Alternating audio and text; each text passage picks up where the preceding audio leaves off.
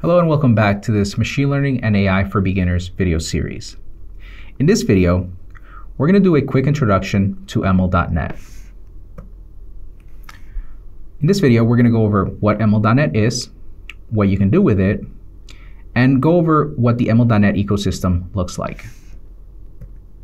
So, what is ML.NET? ML.NET is an open source, cross-platform machine learning framework for .NET developers. ML.NET runs anywhere that .NET runs.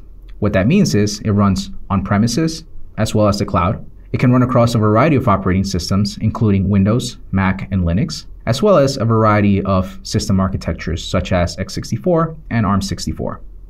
With ML.NET, you can reuse the existing knowledge, libraries, and tools that you're already familiar and productive in in the .NET ecosystem in order to integrate AI into your applications.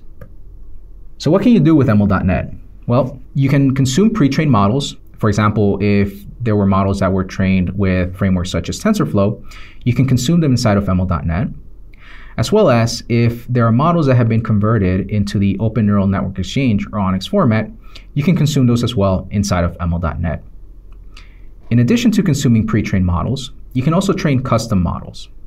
Now, this is not an exhaustive list, but just to give you an idea, some of the things you can do with ML.NET is you can train custom classification models for scenarios such as sentiment analysis, fraud detection, and text classification or categorizing text. You can also train vision models that classify and detect objects and images. You can build models for decision support, right? So detecting anomalies, such as if there's spikes in energy demand. And then there's a sort of variety of analytics and insights models that you can build with ML.NET to do things like forecasting sales, performing customer segmentation, and doing things like price prediction. So what exactly makes up the ML.NET ecosystem? If we start at the bottom layer here, you can see that there's a set of libraries here that power ML.NET. So depending on the type of sort of framework or the type of models that you're looking to build, there's a lot of support there for you. So for example, if you're building deep learning models, right? So for example, the vision or text classification sort of scenarios, the language scenarios, right? Some of those scenarios are powered by libraries like TorchSharp, which is a set of .NET bindings for the libtorch library, right? Which is a library that powers PyTorch as well as TensorFlow.net. You have access to the .NET bindings for the TensorFlow library. Again, you also have access to the ONNX runtime, and if you are looking to inference ONNX models, ONNX runtime can help you there. You also have acceleration libraries and different libraries from individuals like Intel, right? Uh, such as MKL and the Intel oneDAL set of libraries. If you're training classical machine learning models, right, you can use the LightGBM set of library for things like regression, classification, so on and so forth, as well as some custom implementations of some of the popular machine learning algorithms here. And so you might think, well, there's all these libraries and there's support for all this, so that means that I had to know each and every one of these. And fortunately, you don't, right? So that's kind of where ML.NET and this sort of ML.NET layer comes in.